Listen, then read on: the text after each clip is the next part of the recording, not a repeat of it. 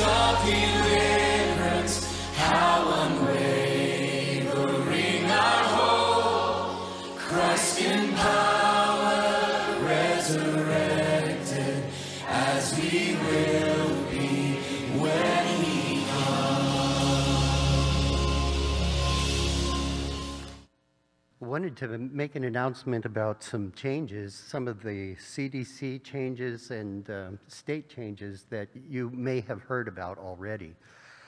Um, it is interesting to try to keep up with what begins to feel like a fast change approach in, regarding our health gu guidelines. Uh, some of the new um, changes that the CD, CDC has come up with is that they are allowing maskless contact among those who are immunized. Uh, they say fully vaccinated people can resume activities without wearing a mask or physically distancing, except where required by federal, state, local, tribal, or territorial laws and regulations, including local businesses and workplaces. So that's quite a mouthful.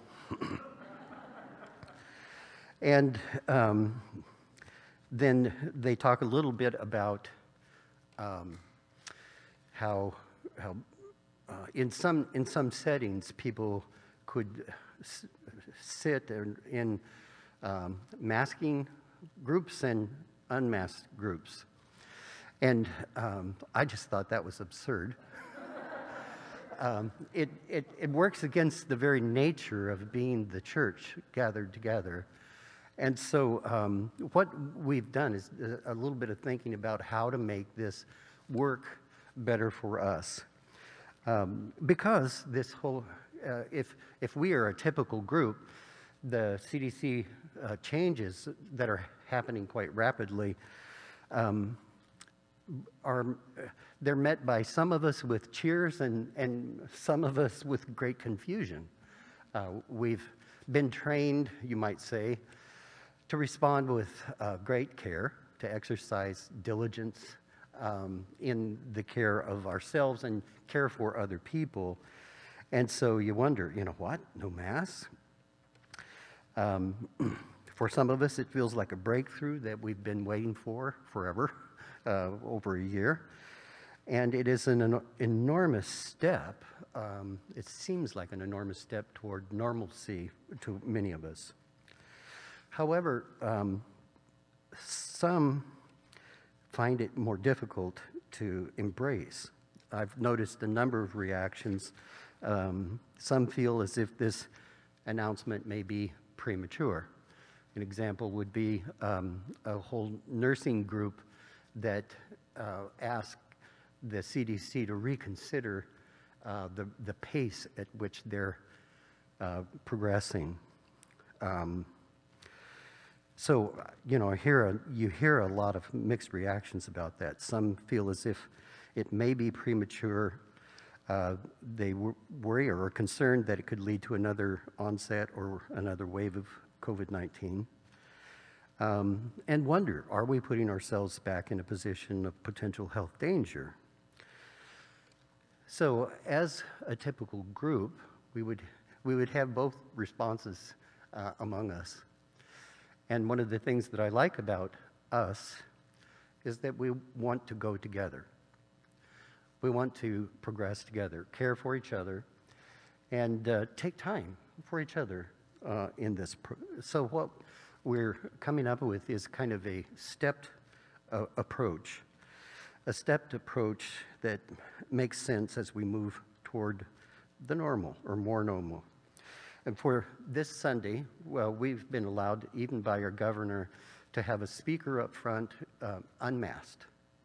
And uh, so we saw that as a possible uh, first step. And we plan to take that step here today, uh, where the a speaker up front at some distance. the speaker is stoked. and you, it is, it is tough to do. It's so tough to do. I like that. Boing! Take the mask and shoot it away.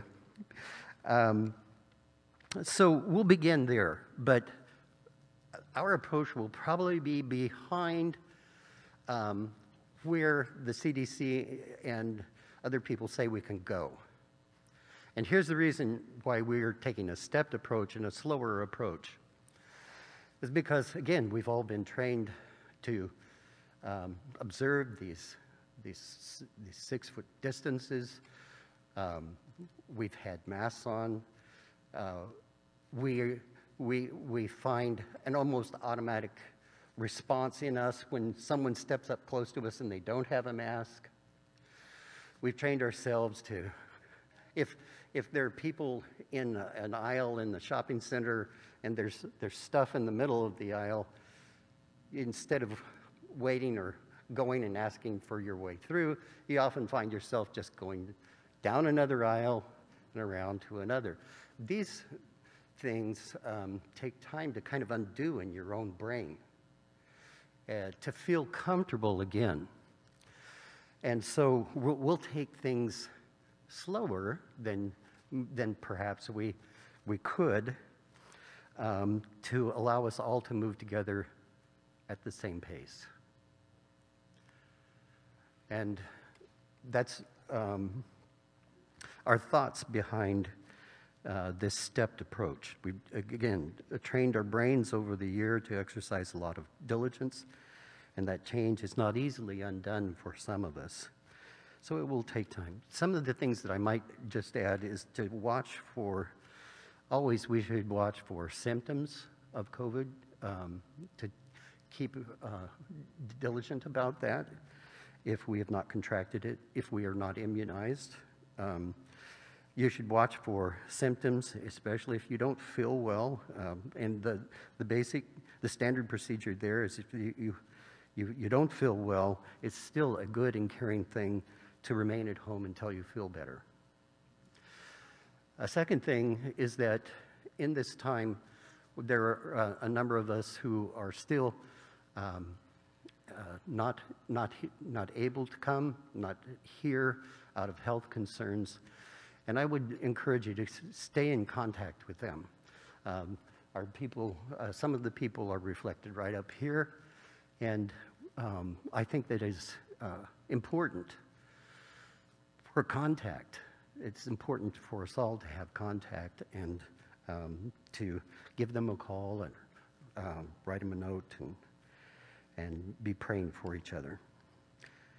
And then if you did develop symptoms, it, would be good to just know if you just let me know so that we could, uh, so that I could be praying for you, so we all can be praying for you until you're feeling better. A fine thing, final thing is this.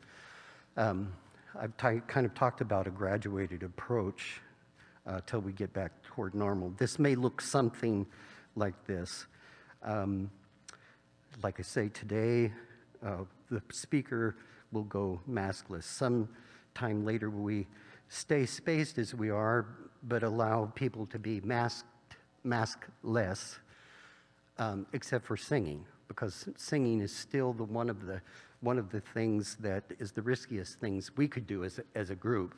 It's forcing a lot of air out of our lungs, and so for a period of time, we may continue to sing um, with our mask, even though we're, when we're sitting still, we have them off. And then um, moving back to normal, maybe, maybe somewhere around Labor Day uh, would be a good target. And of course, this assumes that the caseloads here in our county and hospital uh, utilization continue in the, in, in, in the right direction. Now, uh, I would appreciate if you would uh, help me know what you're thinking about this graduated approach and see if that seems to fit uh, who you are and who we are as a, as a congregation. I want to, would love to hear um, if you have any concerns as we begin to implement these, these steps. We're going to, like I say, take a, a slower approach in um, uh, moving ahead, and that's so we can all go together. Thank you. So, I'm not much of a sports fan, um, but when I do watch sports, I get caught up in the, the moments of excellence. Does anyone have that experience? Um, I, I've for many years, since I was a small child, my, my family would watch the Olympics on a regular basis. And the Olympics is a, is a sporting event in which uh, a whole bunch of sports nobody knows anything about get televised. So you don't really know what's going on. But I can tell you, I, I know when somebody has done something extraordinary by the, the level of excitement of the people commentating, at the very least. And sometimes you can see it in the, the competitor's face, that they're just completely, they're, they're just overwhelmed with what they've just done. And it's amazing. Um, and that response that I have to those moments um, is something that I would describe as worship. Like that's what, that's what we're doing when that happens, when we see something and we're just stunned by it. That's worship. And, and that's, that's good. That's a thing we humans were made to do. We, we were made with that in us to worship, to praise, to see what is amazing and go, oh my goodness, that's what I want. Right now, I want to take off this mask. I was trying to work that into my uh, into what I was saying, and I just couldn't find a good spot. So, um, I I have spent almost no time in my life, except in the last couple of weeks, thinking about the ascension of Jesus. Uh, but as I have reviewed it in the last couple of weeks, I've realized that that's what this is about. This is that cheering moment that overwhelming up into the clouds, and we see what's happening, and we realize that this guy, this guy has just done something amazing. And our proper response is worship. And I am thrilled to worship. I am astounded by what has happened, and it, it overwhelms me, and it's, it's the just fullest expression of who I am to worship Jesus. I think that the ascension is often overshadowed in our minds by the, the, the, baby in the manger or the man on the cross or even the resurrection. But, but that's not the primary picture of Jesus in Scripture, if you really look at it. The primary picture we get, the primary image we get, is not a baby in a manger or even a man on a cross or even, even the resurrected Lord.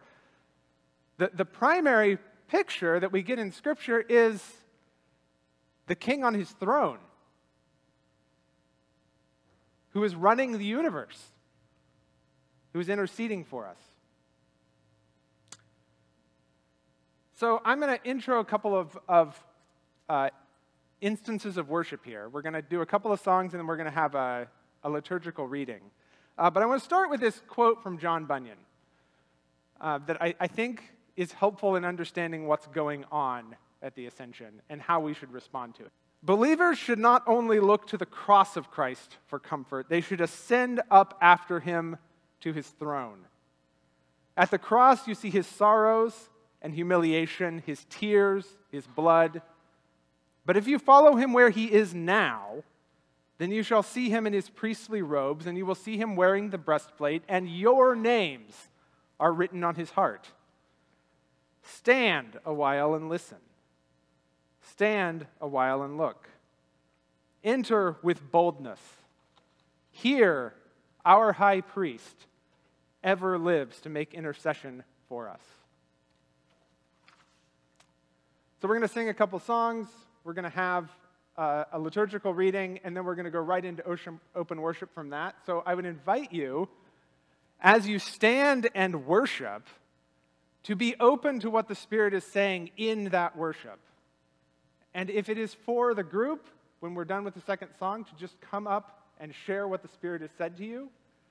Um, and it is for you, then reflect upon it in this time and hear what the Spirit has to say. Stand with me. Let's worship our God and King.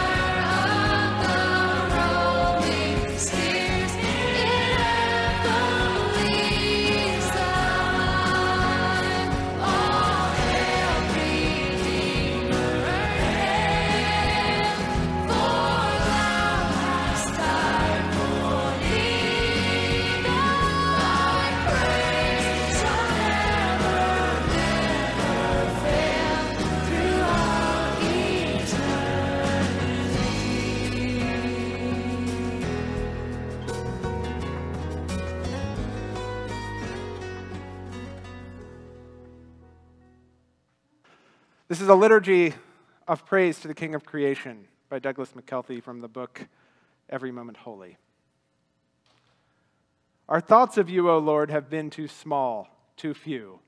For seldom have we considered how specific is the exercising of your authority, extending as it does into the myriad particulars of creation. There is no quarter over which you are not king. And as creation hurtles towards its liberation and redemption, the full implication of your deep lordship are yet to be revealed in countless facets unconsidered. Christ, you are the snow king. You are the maker of all weathers. You are the king of sunlight and storms, the king of gray skies and rain. You are the rain king, the sun king, the hurricane king. You are the king of autumn, the king of spring. And our thoughts of you, O Lord, have been too small, too few. The old and impotent gods our ancestors once believed in were at their best but imperfect pictures of you whose strengths and goodness and creative majesty and wonderful mystery and love exceed those old rumors as sunlight exceeds the tiny diamonds of stars reflected in a dark and wavering pool. The fairy tales crafted by our old cultures hinted at you, though they knew it not. You are their perfect princes, yet their perfect princes and blessed ends were yearnings for all that has found fulfillment in you. You are the Lord of the harvest, the grain king, the wine king, the God of plenty, the God of hearth and home. You are the hill king, the wildflower king, the king of the great bears, the king of canyons. You are the monarch of meadows, the lord of the lava fields, ruler of the desert wastes, the polar king, the rainbow king, the king of the southern cross, and the king of the northern lights. You are the king of the rabbits and the lord of the tall trees. You are the God of youth and the God of age. You are the acorn king, the river god, the swamp king, the king of glades, the king of dells, ruler of all hummingbirds. You are the horse lord, the king of crags, the lord of the bees, the king of the walruses, the commander of rhinos, the lord of the lightning bugs. Cave lord, mountain king, ruler of the gra- gra- grassy plains, god of the valleys. You are the captain of the clouds, the wolf king, the king of the cockatoos. And our thoughts of you, O Lord, have been too small, too few. For your claim over creation is vast. You are the Lord of Antarctica, the King of California, the King of the Scottish Hills, and the King of the Nile. You are the weaver of the unseen fabrics of the world. You are the Lord of the atoms, the ruler of electrons, the Lord of gravity, the King of quarks. Your dominion enfolds the earth and rises beyond it to the furthest extremes of the stars. You are the Lord of the vast empty spaces. You are the king of the constellations, the black hole king, the Lord of novas exploding, Lord of speeding light, high king of galaxies, king of Orion, king of the moon. And still, even still, our thoughts of you have been too small, too few. You are the God of justice, the God of wisdom the God of mercy, the God of redemption. You are the Lord of love. All of this is true, but our thoughts of you are still too few, for our minds are too small to conceive of them all, let alone to contain them. You were before all things, you created all things, and in you all things are held together. There is no corner of creation that you will fail to redeem. You are Lord of lords and King of kings. O Jesus Christ, our King of everything. Amen.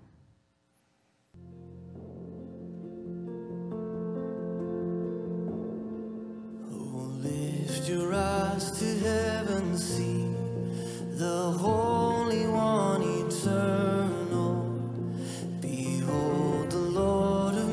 Majesty,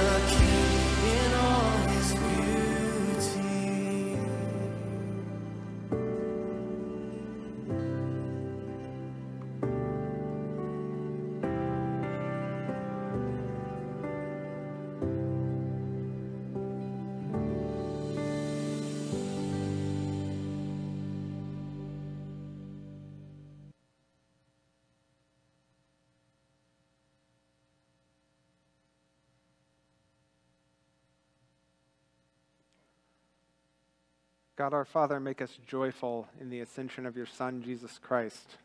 May we follow him into the new creation. For his ascension is our glory and our hope. We ask this through our Lord Jesus Christ, your Son, who lives and reigns with you and the Holy Spirit, one God forever. Amen.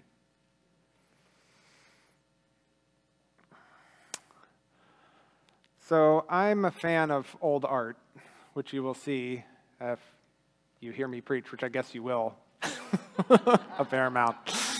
Uh, this is a, a painting, it's in Mexico City, of the Ascension of Christ. And I don't know how well you can see it up there, but I really love this picture because it, it both portrays the, the actual event of ascension uh, and the celebration of the disciples at seeing it with awe and celebration. Um, and also prominently displays the wounds of Christ uh, that uh, exemplify his achievement in obedience to the Father's will. Um, it's a beautiful picture. I think art sometimes expresses something that words can't. Uh, so I encourage you, if you're the kind of person that connects to this, to, to look for these things. That Christians for 2,000 years have been painting pictures and singing songs and sculpting sculptures that express the inexpressible in the heart of worship. And this is one of those paintings for me. Another thing that Christians have been doing for a long time is meeting in church buildings. Uh, this is the monastery of St. Thaddeus. It's in modern day Iran. Uh, its construction began in the second century, so it's been a while. And, and they're still using it. Like, there's still meetings for worship happening in this building. Um, and, and if you look carefully at it, you can see that this thing was built in stages. There's, there's old foundation stones, and on those stones were built a small church, and then a bigger church, and then a monastery, and then a bigger monastery. And it has continued to be in use almost uninterrupted for 1,800 years. The Church of Jesus Christ is built on deep, deep foundations. Um, I, I think, you know, right now is a really great opportunity to think about new beginnings, uh, how to build something new on the foundations of something old. And the history of the church is an awesome lesson in this, because this is what the church has always done. The, the church of Jesus Christ is the story of a layer being added on a foundation that's on a foundation that's on a foundation that's on a foundation. But the single most important thing to building on a foundation is to knowing what the bottom layer is. There's a wonderful story about the reconstruction of St. Paul's Cathedral in London after uh, the Great Fire that destroyed it. Uh, that Sir Christopher Wren, who was charged with redesigning it, had a huge problem, which was that the bottom layer of the foundation underneath the cathedral was completely unstable. It was a mix of watery mud. And so every time they built something on, on that part of London, it would shift and sort of settle, and nothing would ever end up straight. You know what Christopher Wren did? He continually redesigned the construction of that cathedral for 60 years. And it's straight as an arrow today. Because he took the time to understand the bottom layer of what was there and what was needed to build on it. There is no better time than now to look at new beginnings built on old beginnings.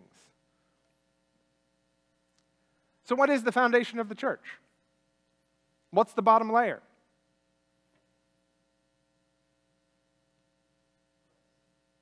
Christ is the bottom layer. Uh, my questions aren't guess what Mark is thinking questions, just so you know. That, that's, that's, not my, that's not how I work, so feel free to say things. It's, yeah. So, what is it? What, what is it about Christ that makes people do this? That makes people build a building and then rebuild a building and rebuild a building and continue to worship in the same place and continue to pass down the traditions and the forms of their worship for literally thousands of years? What is it that makes people endure rebuilding on the ruins their ancestors left to build the church of Jesus Christ? Well, there, there's no better place to look for the answer to what is the foundation of the church than the foundation of the church.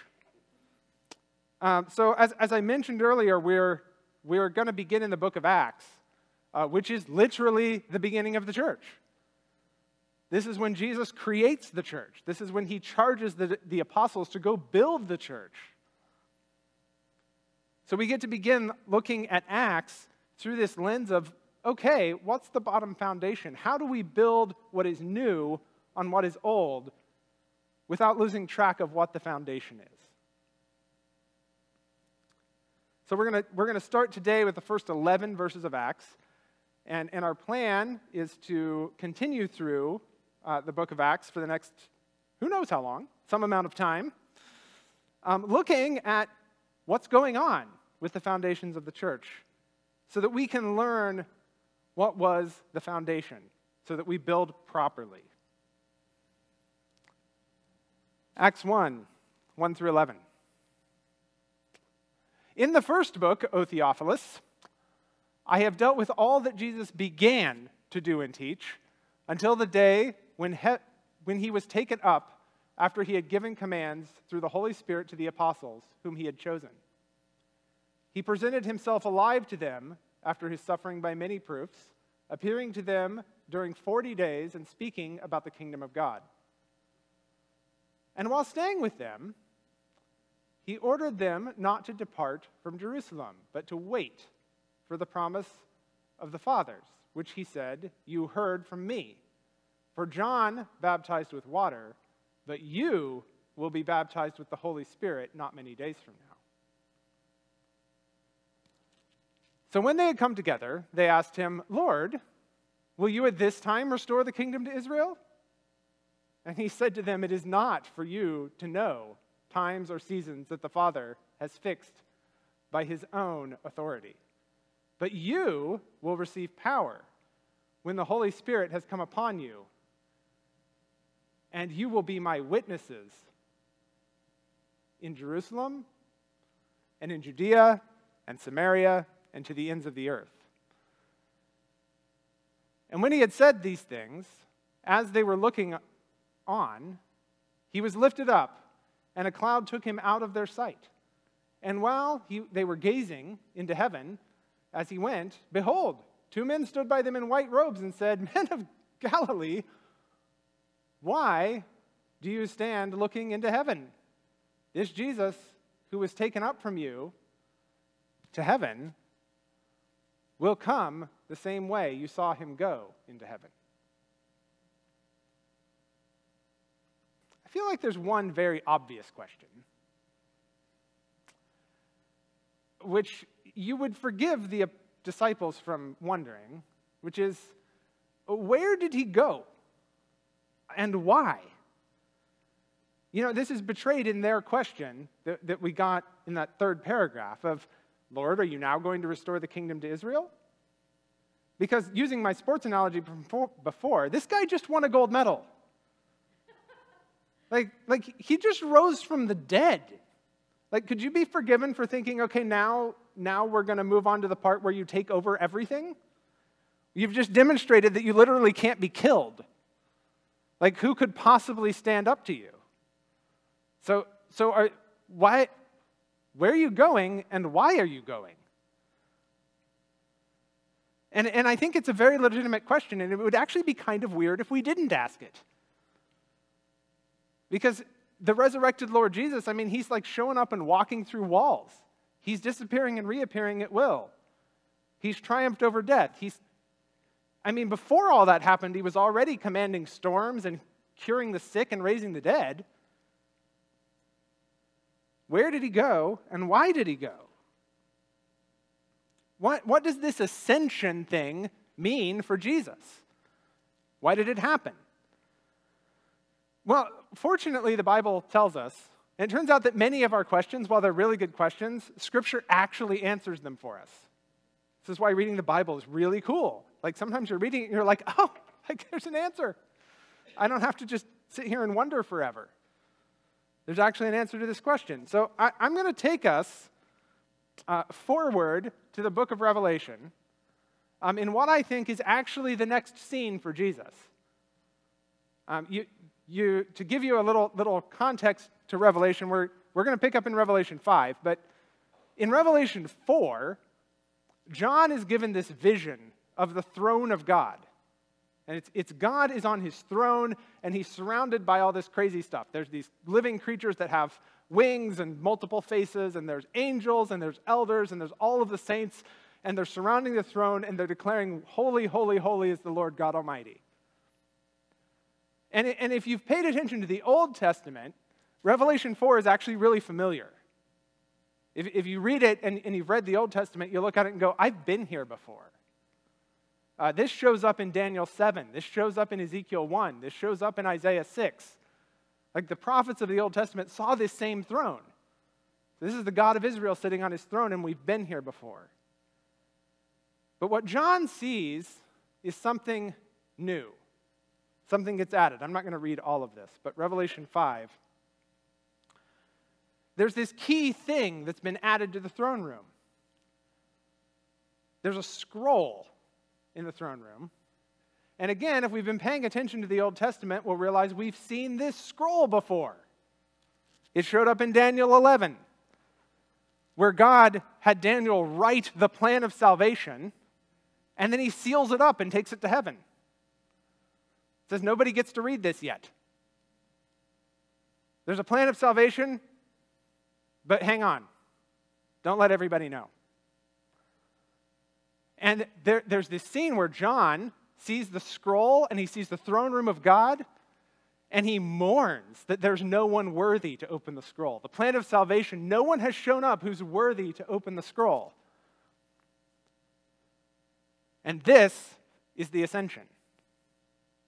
That Jesus ascends from the disciples in Galilee on, on the Mount of Olives outside of Jerusalem. So the men of Galilee are seeing him go away. Where does he go? He goes right here. There's a lamb looking as if it has been slain. Jesus shows up in heaven, and something remarkable happens. All of those creatures and angels and elders and saints who have been worshiping God the Father on the throne turn, look at the lamb, and say, Worthy is the lamb. Worthy is the lamb to open the scroll. Worthy is the lamb to enact the plan of salvation. And then the lamb goes to the throne. And this is where, this is really the core of the doctrine of the Trinity, right here, by the way, which is that Jesus isn't just a human being used by God, Jesus is God. Because the angels and the living creatures and the elders and the saints all look at him and they worship him the way they were worshiping God. And if you've paid attention to the Bible, if you read through the Bible and you pay attention, you realize that that is the one thing God will not tolerate. God will not tolerate worship directed incorrectly towards someone who is not Him. But here, the Lamb gets right on the throne. And it happens. And the plan of salvation is revealed, it's unsealed.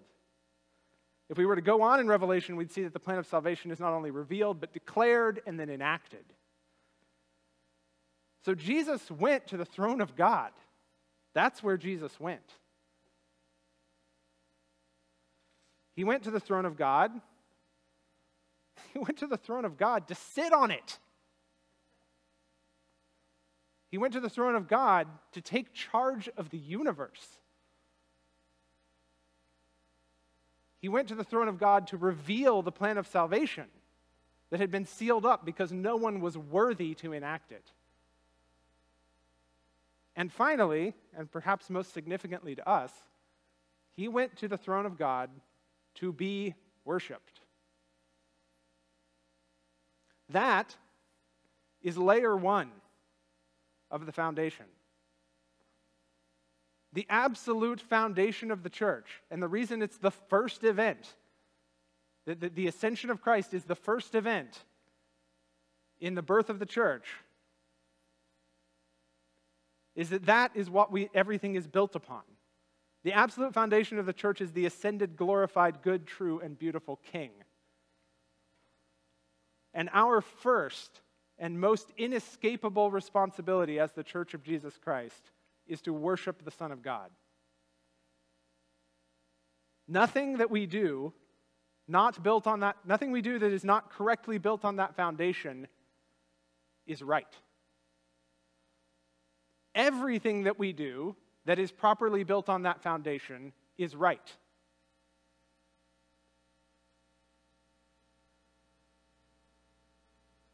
You can do a lot of good things. And there are many organizations that do a lot of good things and have through history. But if the grounding foundation of why they do those things is not the worship of the Lord Jesus Christ, it is futile.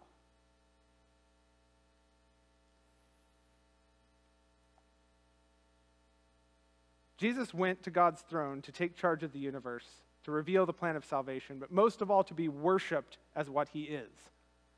And what he is, is the reason for everything. Paul talks about this in Colossians 1 that, that, the, that Christ is the image of the invisible God and the firstborn of all creation. He is the, the means, the method, and the reason that anything has ever happened. That is the foundation layer of the church. If we are to be the church of Jesus Christ, we have to first say everything is about Jesus. Everything.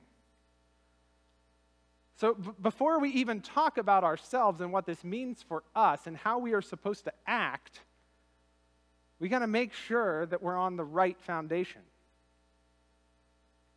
And it is, it is absolutely possible to do a lot of good things on the wrong foundation. Uh, we, we actually see that in the disciples' question, don't we? Because Jesus has risen from the dead and he's hanging out with the disciples, and their, their question is um, Are you going to you gonna restore the kingdom to Israel? Who is that question about?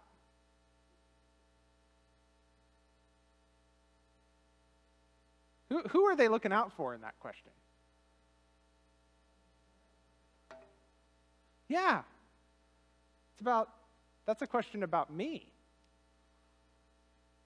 And, and I don't know about you, but um, I catch myself asking that question occasionally, uh, especially in the last 15 months or so. You know, when my, when my cry of Maranatha, my cry of, of come, O Lord, becomes more about come, O Lord, for my sake.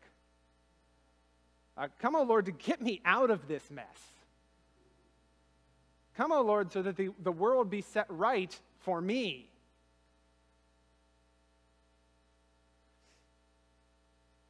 Well, as we will see, the, the goal that Jesus has set for himself is not to do these things the way we want to do them.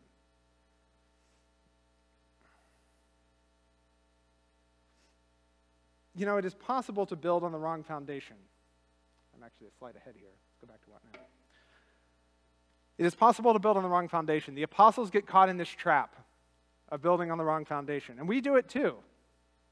You know, there are many good things uh, uh, children, spouses, family, jobs, careers, uh, serving the poor, uh, even missionary work, as we'll see, are all things that you can do built on the wrong foundation.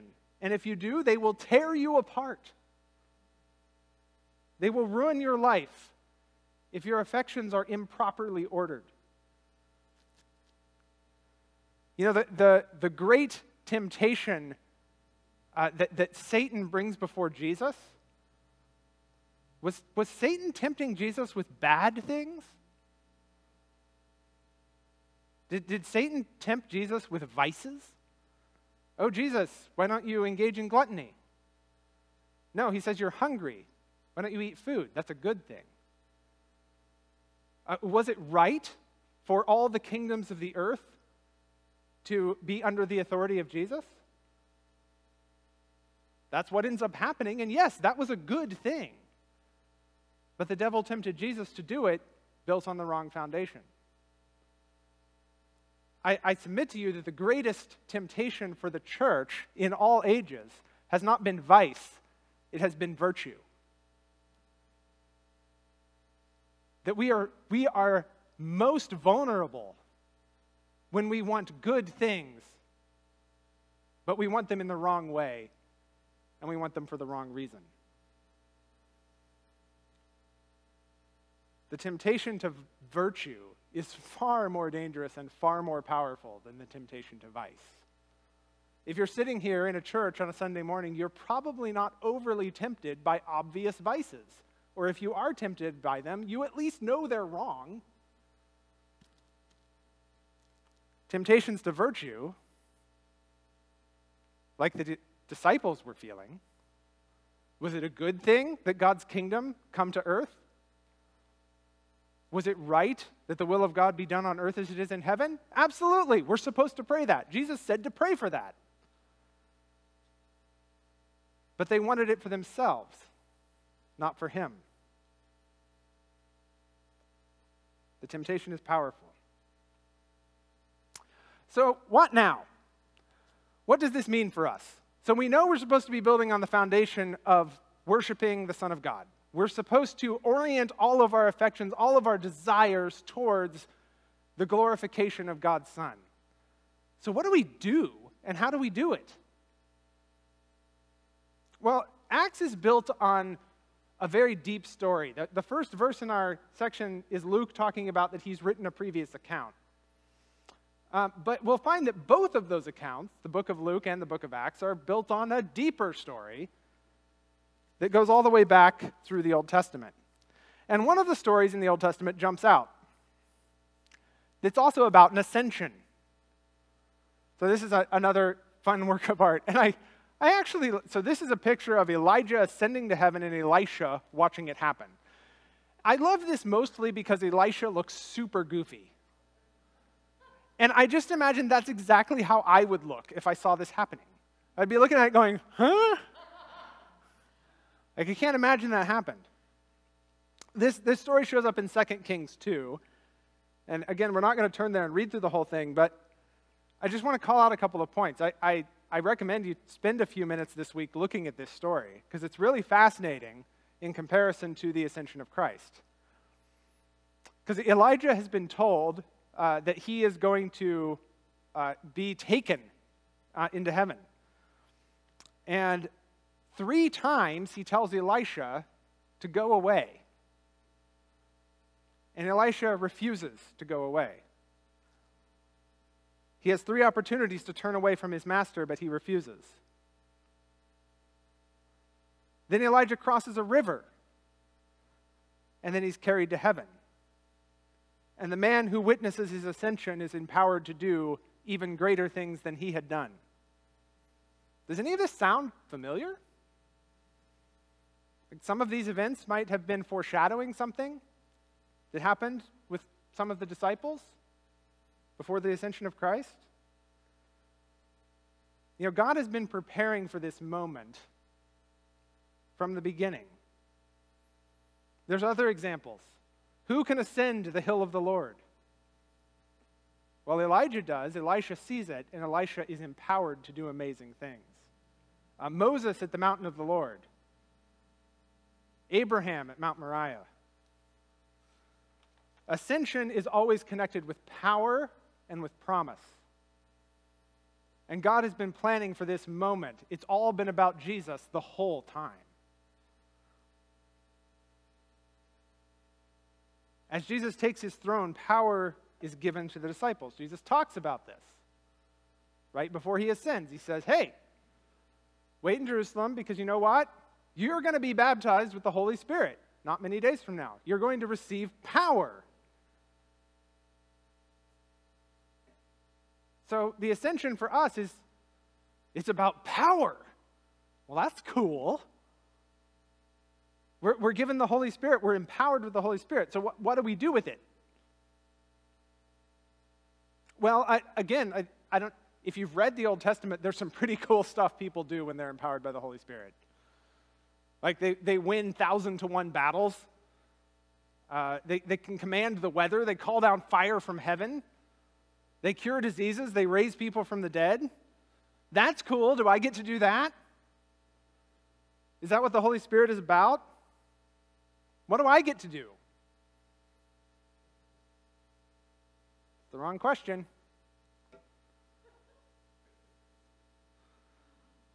You know, Jesus teaches extensively. The most extensive teaching on the Holy Spirit is in John 16. Jesus teaches extensively on the Holy Spirit in this, this upper room dialogue. And reading those, those chapters, chapter 14 through 17 of the book of John, is just revelatory about what the Holy Spirit in the Christian life is about. And if, if you look carefully, you'll see it all hangs on that statement right there. What, what is the Holy Spirit here to do? Jesus says, the Holy Spirit will glorify me. Once again, it is all about Jesus. What do we get to do with the Holy Spirit? Glorify the Son of God, worship the Son of God, accrue blessing and honor and power and authority to the Son of God. That's what the Holy Spirit is about. That's the Holy Spirit's mission. It does other things. It, the Holy Spirit comforts us, the Holy Spirit convicts us, the Holy Spirit does many things in the world, but its primary mission, the thing on which all other things hang, is the glorification of Jesus Christ.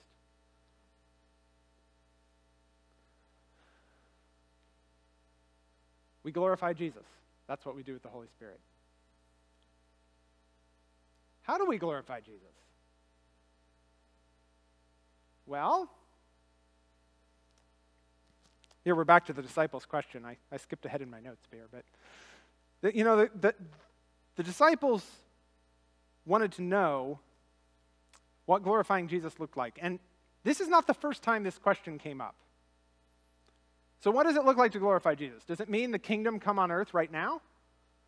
Does it mean uh, asking Jesus to come fix everything? Well, he instructed us to pray that. But if you carefully look at what he does here, they ask, Lord, will at this time you restore the kingdom to Israel? Well, the last time they asked that question, or that question came up, was in Luke 19, and he told a parable. Anyone know what parable that was? I cheated by giving you the answer. he tells this story on the way to Jerusalem about a king who leaves and entrusts his servants with his stuff. He tells a story about a king leaving and entrusting his wealth to his servants, who are then accountable for going out and doing something with it. And when the disciples ask, Are you going to restore the kingdom to Israel? He says, No, you. Actually, he says, Yes, me, but not yet. And don't worry about it. But by the way, you, you will receive power from the Holy Spirit that will come upon you, and you will go be my witnesses.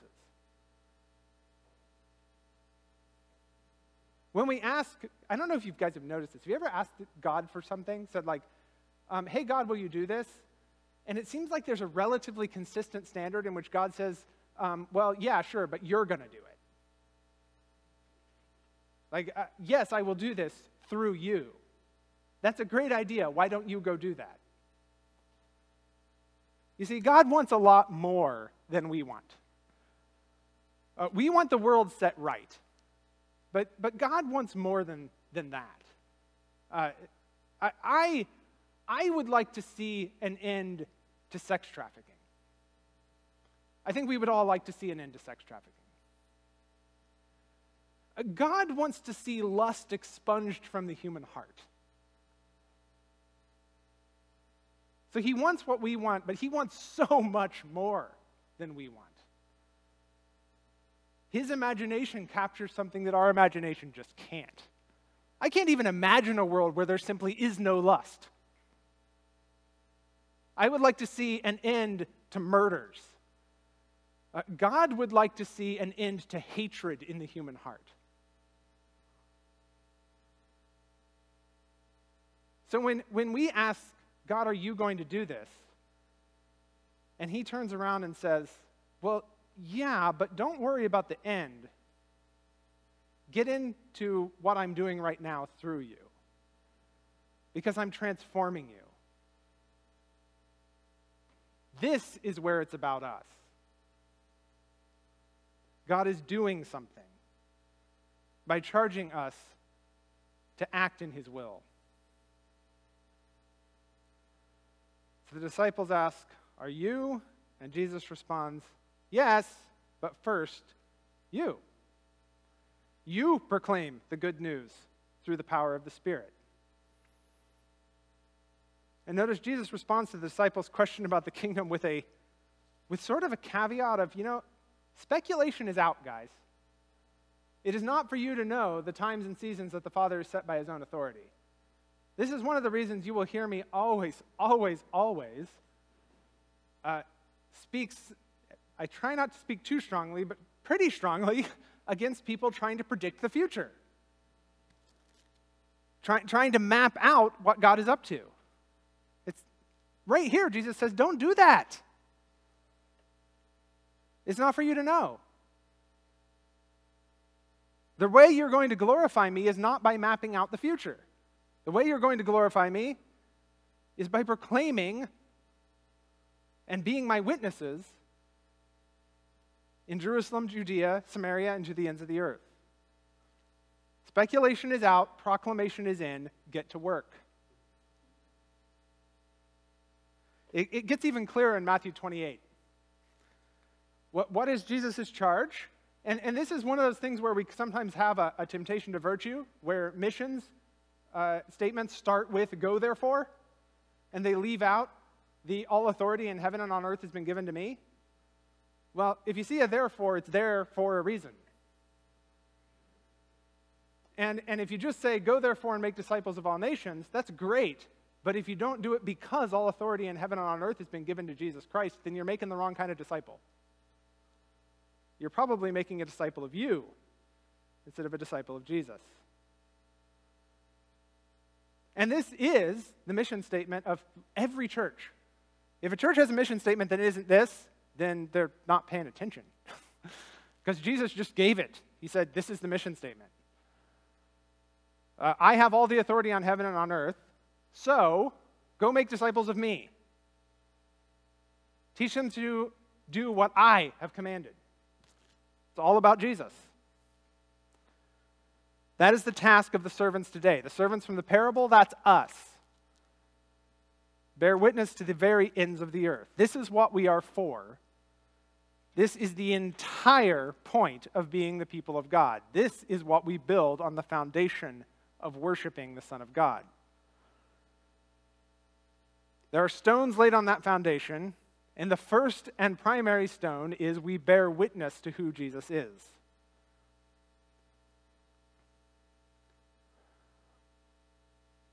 Bear witness that all the authority in heaven and on earth has been given to him. It's our turn to do that. This is the foundation of everything the church has ever done. And let's not get this wrong. It applies to everything. If we meet together for worship, we do it to bear witness that the authority of heaven and earth is given to Jesus, and to, to bear witness to the ends of the earth that that is true. If we don't meet together for worship, we don't meet bearing witness that all authority in heaven and on earth is given to Jesus. If we feed the hungry, we do it to bear witness that all the authority on heaven and earth is given to Jesus. If we house the homeless, if we host a celebration of life, if we host a wedding, if we celebrate a birth, if we have a birthday party, if we have dinner, we do so as witness to the authority of Jesus over all things. If we support a missionary family, we do so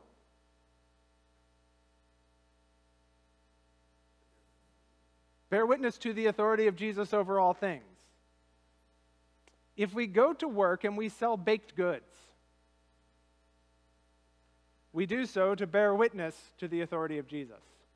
If we go to work and lay brick, if we go to work and teach children, if we stay home and keep house, if we listen to our neighbors, if we go for a Sunday drive, if we take a nap.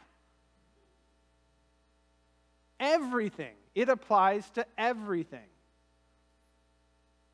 Our whole lives, ordered correctly, bear witness to the authority of Jesus over all things to the very ends of the earth.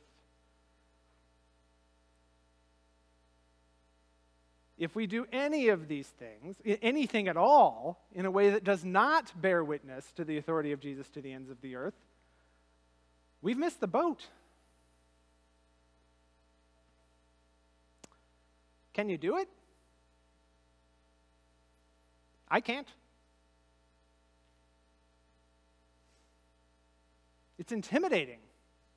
It's honestly kind of ridiculous to think that my life could be so well ordered that I bring authority and honor and praise and power to Jesus when I take a nap. I'm just not that conscious of my motivations. But that is not the great promise of the Christian life. As, as the Apostle Paul wrote, it is not I who live, but Christ in me. I cannot live my life as a total act of worship. At least not yet. But Christ formed in me can and does and will. The ascended Lord has all the authority, He has all the control. And if He says He will form in me the kind of person that can do that, then He will do it. This is not about what I can do, but about what He can do. That is why we always come back to that first layer of foundation. Jesus Christ is Lord of everything. And our first and primary responsibility is to be oriented towards worship of the Son of God. Because the true and beautiful and good King will accomplish what he has said he will do. Because what I do is not I, but Christ in me. I'm going to have a song here and then I'll come back for a benediction.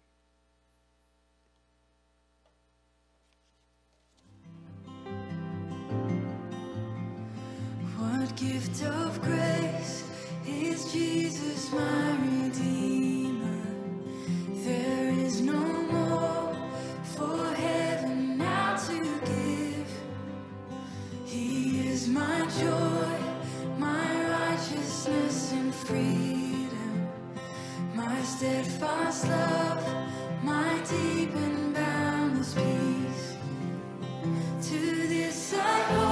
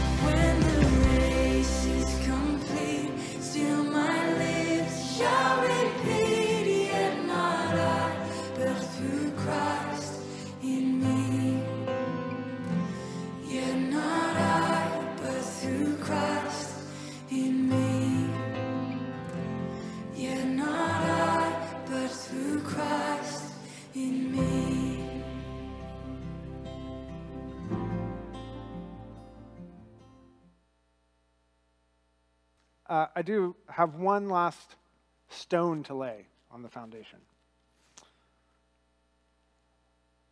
The end of the book of Luke, Luke 24 53, literally the last verse in the book. Uh, Luke tells us how the disciples respond to Christ's ascension. Uh, they worship him and return to Jerusalem with great joy. And we're continually in the temple blessing God. As we work through the book of Acts, we'll see that the, the church is marked by passion and by persecution. But perhaps more than anything else, the church is marked by a radical joy, by an overwhelming sense of joy in what has just happened.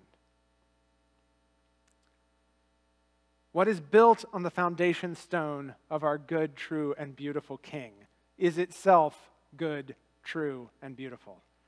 And when you consider that of which it is made, that is stunning. The church of Jesus Christ is stunning, and it's built out of us. You know, I believe that Jesus looks at the church and he is proud of it. The church of Jesus Christ is gorgeous. It is worth reveling in and feasting over. We have power in the Holy Spirit to live lives of radical joy. So, by the power of the Holy Spirit, rejoice in your beautiful King.